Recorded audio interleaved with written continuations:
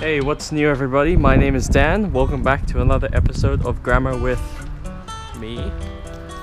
And today I want to talk a little bit about apostrophes. Uh, apostrophes, in my opinion, are probably one of the most um, overrated in terms of difficulty because, truth be told, there's only really two places that we can use an apostrophe. Well, there's probably more, but two of the main ones at least. And if you get these, you're pretty set. So the first way is with possession. So when I say possession, what I mean is uh, when a noun owns something or has a quality of something. So the the most common way is when it's you know John's book, right? So it's John owning the book.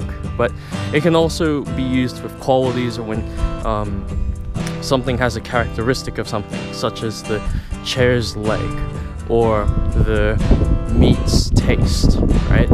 Uh, so that's the first way. It's with possession. So if we're going to say the chair's leg, um, we're going to put an S at the end of the principal noun, which is chair, uh, and we're going to put an apostrophe before that S.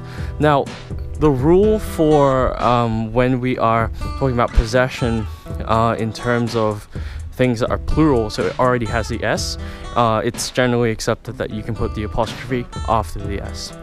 Uh, and the second way that we can use an apostrophe is with contraction. So with a contraction, what I mean is when you're taking two words and you're kind of mashing them together.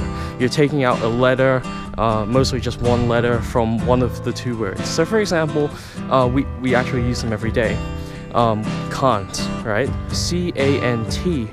Now, what can't means is cannot, right?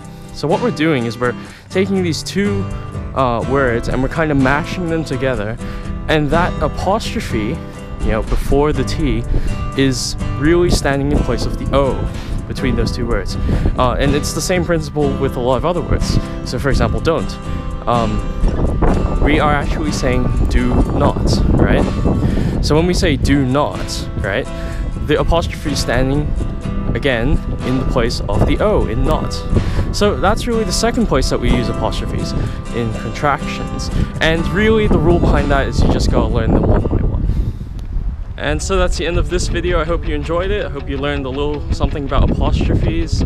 Uh, if you have any other questions or comments, you want to ask me a question, you want me to request something, uh, then do so in the comments. Uh, and I'm going to enjoy the rest of this fantastic day.